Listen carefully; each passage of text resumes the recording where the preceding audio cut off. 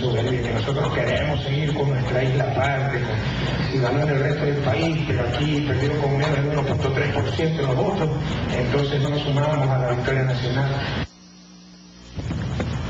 De última hora se conoció que la compañía Odebrecht confirmó este día que aceptó las exigencias del gobierno para solucionar el conflicto por supuestas fallas estructurales en la hidroeléctrica de San Francisco y dejar sin efecto la expulsión ordenada por el presidente Rafael Correa. En un comunicado emitido en Sao Paulo, Odebrecht señaló que como líder del consorcio responsable por las obras de la hidroeléctrica, confirma que aceptó los términos exigidos por el gobierno ecuatoriano para firmar el acuerdo de compromisos. Según la constructora, el acuerdo fue entregado a las autoridades ecuatorianas. Optimismo frente a la propuesta.